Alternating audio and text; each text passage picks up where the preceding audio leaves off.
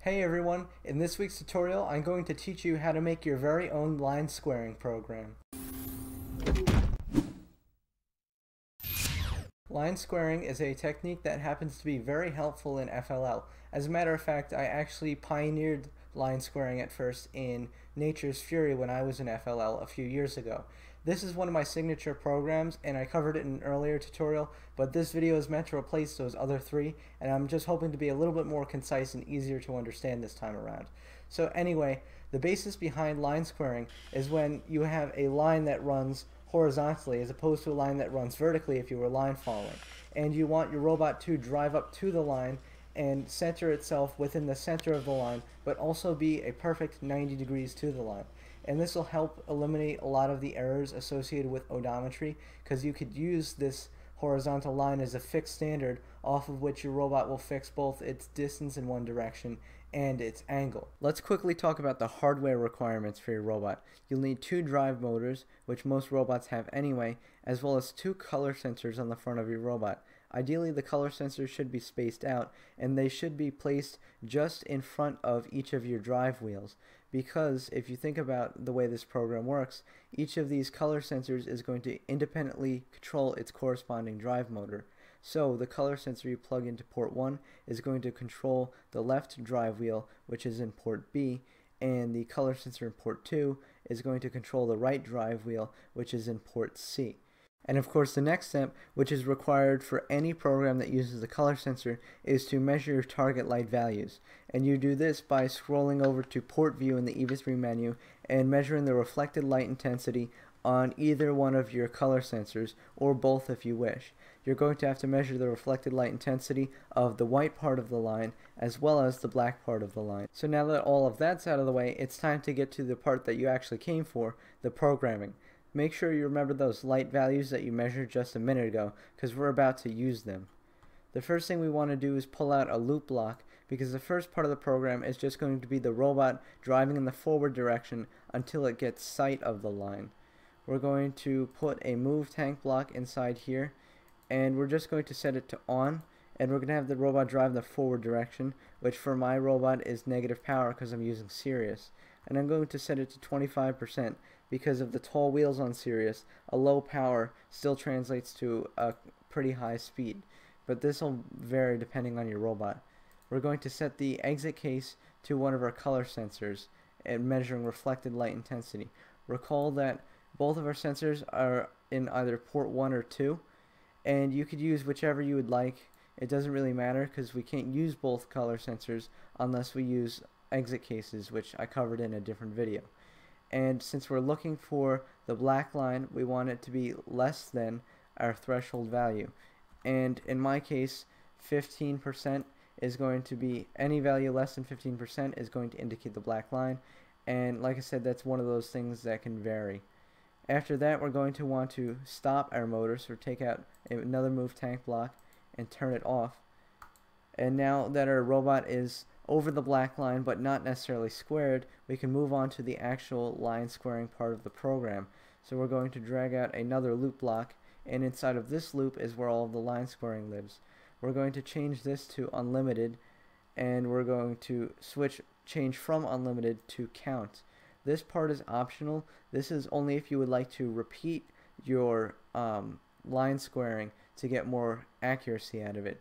If you're in a crunch for time, it's not necessary, but I'm going to set mine to 2 so that after it does the squaring once, it's going to run it again just to be a little bit more accurate. Now inside of this loop, we're going to individually center both the left and the right wheels using their corresponding color sensors.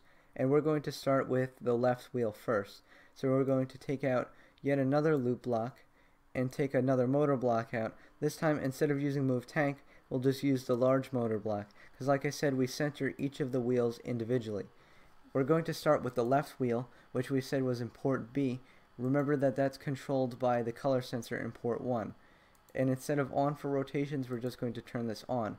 And we're going to want our wheel to drive slowly in the forward direction.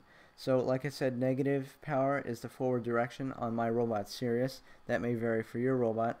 And I'm going to set it to 15%. You may want to change this as well, but you're going to, in general, want this to be pretty slow so your robot can take its time for accuracy's sake. We're going to change the exit case to color sensor, reflected light intensity again. This time we definitely have to use port 1 because like I said, port 1 is paired with motor B. We're going to flip the sign of this and set this to greater than. So we're looking at a light value that's brighter than our threshold value that we set because we're looking for the white line. And I found that the default setting, which is 50%, works fine for my robot. Like I said, depending on your lighting conditions and what you measured before, this threshold value may vary. But what we've done so far is we've started the motor, the left motor driving in the forward direction until the left sensor sees the white line. What we're going to do then is stop the motor. We're going to take out another one of these motor blocks. Just hit off and make sure the port matches, so port B. And after that, we're going to take a motor rotation block. Make sure that also matches since we're still working only with port B here. And we're just going to have this reset the degree counter. We reset the degree counter because then we're going to go back in the opposite direction and find the other edge of the line because the lines on an FLL mat have a thick black line in the middle followed by a white line on either side. So if you think about it, we're going to the white line on one extreme, resetting the motor, and then going back to the other extreme to the white line on the other side and measuring the distance. So let's do that. After this, we actually need to do a bit of a special step. We need to add a block here that is not inside of the loop, and I'll explain why in a second. We're going to actually set this on for degrees. We're still going to match the port because we're still just working with port B. We're going to want this to go in the reverse direction now, so flip the sign from before. If negative was forward, then positive is going to be reverse, but you want the same power, so 15%, and I'm going to set this to about 40 degrees. This may also vary, but the reason why you do this is because your robot's already resting on the white line. You want the robot to just kind of move itself off of the white line at first before it starts looking for the white line again. If you don't do this step, then it's not going to work because your robot's going to park on the white line, then look for the white line again, but it's going to see the same one it's already on, when in reality you want to look for the other one. So you need to get it started in that direction before you start looking. Otherwise, we're just going to take what we did before here, and we're going to copy it, because we're just doing the same thing in the opposite direction.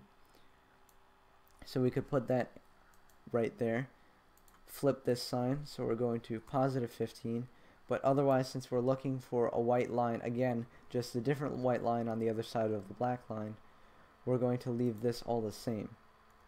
And afterwards of course we're going to have another block where we're going to stop so we can even copy that. We could shut that motor off. Now here comes the interesting math part.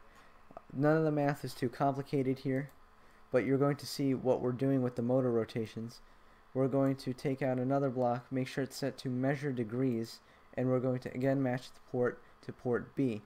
We're going to take out a math block from this section, switch its operation to divide, and take the output from the degrees on that motor, put it as the A input for your division block, and the B will be 2. So what we're doing is we're taking that measured degree value divided by 2, and then we're going to take that result and plug it into one final large motor block. We're going to have this set for degrees like so and we're going to match the port yet again. Probably sound like a broken record by now. The result of this division block is going to become the target degree value of this motor block and we're going to drive in the forward direction again so what has basically happened um, if you weren't following that I'm going to go over that again is we're driving the motor in the forward direction until we see the white part of the line that's in front of the black.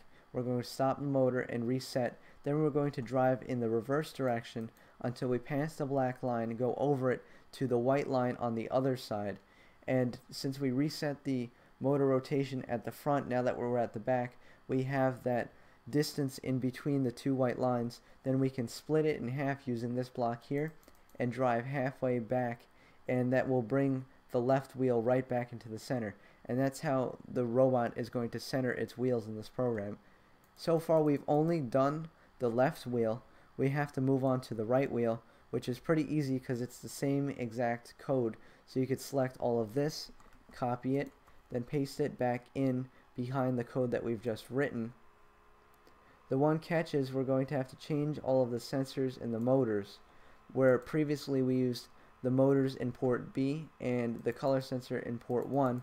We're now going to switch everything to use the sensor, the sorry, the motor in port C and the sensor in port 2. And this is very important, otherwise your line squaring of course isn't going to work because it's going to mismatch your sensors. But every time you see a motor in port B, it now becomes C. So we'll go through that. Anytime the sensor is port 1, it'll just go to port 2.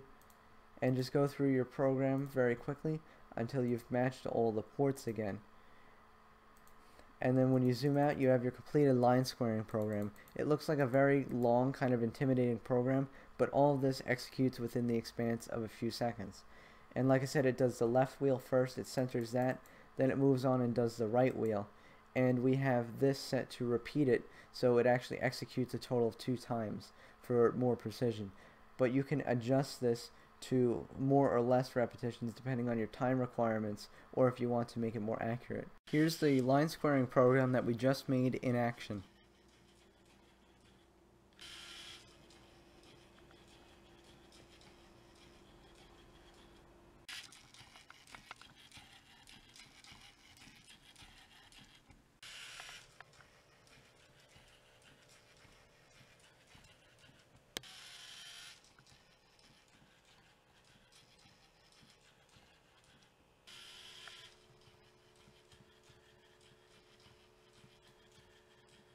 That second repetition that we programmed into our code is very helpful because it allows our robot to be able to square itself even if it has a moderately steep approach angle.